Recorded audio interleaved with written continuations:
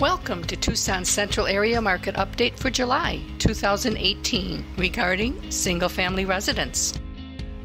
With Kim Boldt, your trusted community realtor, I'd like to share with you July sales activity.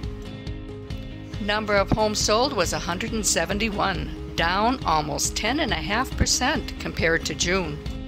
Days on market was down from 33 to 30 days. Month over month, the central area of Tucson's median sale price was up almost 8% at 204,900. While the median cost per square foot was up almost 6% at $140.45.